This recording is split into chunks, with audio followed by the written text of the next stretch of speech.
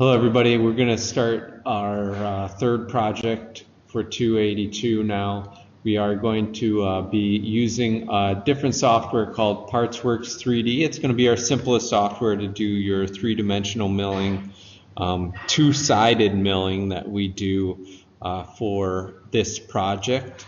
Uh, you guys are working in foam again. Uh, 24 inches by 24 inches should be the foam size that you're bringing down to us. Uh, roughly, it, it shouldn't be that much smaller, maybe an eighth inch smaller from the, the blade width, but we need excess material around your cut that will give us room to screw this down, and then when we do a flip, it's going to act kind of like a tab uh, for our object, and then you're going to trim it off with the table saw when you're all done.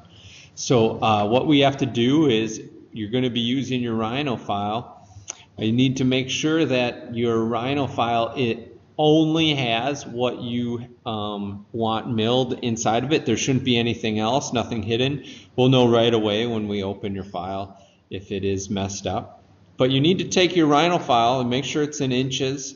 And then you need to make sure that it is uh, exported as a 3D Studio Max file. It's our uh, the best uh, file type. You could bring in an STL file, uh, DXF file, um, all these different uh, file types that we could bring in. But we found that 3D Studio Max files works pretty good. So I have a 3D Studio Max file ready to go that I've exported from Rhino into 3D uh, Studio Max. You can see now here's my object. Um, it is double-sided as we can see here. This is in PartsWorks 3D. We have to make sure that our scale is correct. That's right here. So I'm going to have to change this uh, to be correct size. And then I'm going to unlock this. We only have a 2 inch piece of foam, so I'm going to change that. And then I'm going to say top and bottom. Right down here, this is crucial to uh, milling correctly. So I'm going to apply that now. You always have to hit apply. If you don't hit apply and you just hit next, it reverts to everything uh, back to the way it was. So you always have to hit apply and then you hit next. So then we hit next. Then we're going to zero off the middle of this because we're doing the flip again. If you're not doing the flip, I like to zero to the bottom lower corner uh, bottom corner. But uh, since we're doing a flip, we're going to zero right to the middle. We're going to zero off the top of our object also. Um, you don't have to worry about this model silhouette, all that stuff, because you have a square object.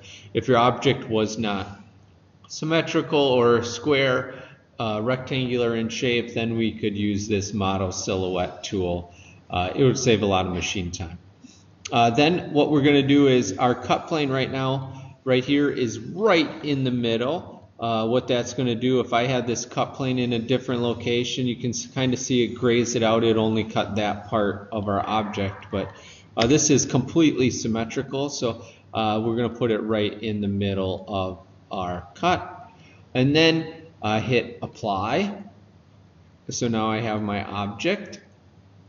Now we're going to start uh, setting up our toolpath. So we have roughing toolpath and we have finishing toolpath. It's a little different than uh, 2D milling like you guys were doing before.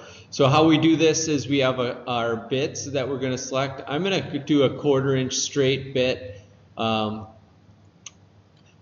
and it's already set up for foam, but our pass depth we can do is a max of, I'm going to do it a half inch so you can see what that does. I'm going to apply that. Our step over can never be more than 50%. Um, so it just won't let us do it. So we're going to hit OK. And then uh, you could change all the parameters here, but remember our feed rate and plunge rate should be 6 inches per second because we're cutting in foam. So we have that uh, set up for our machine. Our, our, raster X and Y, that's only just the way it's going to travel back and forth while it's machining, and then it's going to drop down a level and then machine this off. So I'm just going to hit calculate, and you can notice here that uh, I have calculated on the top of our machine, and then what we all we have to do is to now calculate the bottom. You just left click on the bottom and then hit calculate and it is already done for us. Don't worry about anything that you think that it might get. You don't, don't have to flip anything, nothing like that whatsoever. So we have a top and a bottom. You can see our run times 13 minutes for both sides right now. So uh, something to uh, take into account. Uh, then I'm just going to hit next. Then I have my finishing toolpath. I'm going to select my bit. If you wanted to change bits, you can do so now, but I would suggest using the same bit because you're going to be able to save a lot of time. Um, and it's foam, so if you want to knock down the edges, you can do that. You can raster this along the X angle. You get a smooth finish. You can along, along the Y. You can go at a 45 degree angle. You can raster it all like that. But um, that's kind of uh, the smoothness. You can check out the display wall for the different settings for the different speeds that you would go um, uh, on the in the CNC room, so you can see what size bit gets you a certain type of finish and how fast it can go. So uh, take a look at those before you start setting up your file, so you can uh, come with us and set this up uh, together uh, with you, and we know what you want. So I just I just uh, calculated this for the top, so that's all ready to go, and then I'm going to hit calculate for the bottom. And that's ready to go there. Then I hit next. We don't need to create a cutout. We're going to do that on the table saw. Now we can do a roughing preview here. It's roughing out the bottom. We can do a top rough preview. So you can see what that looks like. I got my two sides. I can do a finish preview. And then a finish preview. Now I got my object, right? So that's exactly what we were looking for. Um, then all you have to do is hit next, make sure that that all looks great. Then what you have to do is you have to either click on the left or on the, the machine uh, side to machine, you either click the top or the bottom. Uh, so we got a half hour per side. But depending on how deep your cut is, most of you will be able to skip the roughing pass. If you have a depth cut more than an inch, then you're going to have to do the roughing pass. But I'm just going to save out the finishing tool pass. I'm going to uncheck uh, my uh, roughing tool pass. I'm going to save out my finishing tool. Oop. I have to click save by itself. So it's going to make a label here, save it somewhere you can remember. It's in ShopBot inches, so that's set up right. So it's going to do the top. So I'm going to save that out, and then I'm just going to click over to the bottom, and then I'm going to save out my bottom toolpath. And then that's how we uh, set up our object. So we're all ready to go for our uh, milling in 3D. If you uh, have issues with this, you can just go backwards uh, and set this up. Uh, what I have seen when this is the original window is a lot of students, they'll be, this object looks super tiny. It's because you have something off in space uh, in your object. So what you have to do is you select the object in Rhino by itself and you copy and paste it into a new Rhino file. And that usually fixes all the issues that you have. You have to do the Control C, uh, Control V, uh, cut and paste into a new Rhino file uh, to make sure that that geometry stays uh, the same and it only copies um, the parts that you have selected.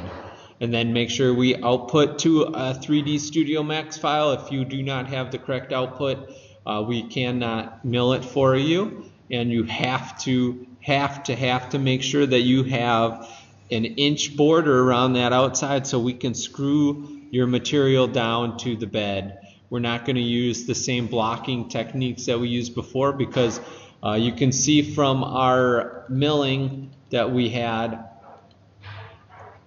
uh, before when we have all this previewed out that the uh, the object wasn't flat on the top and the bottom.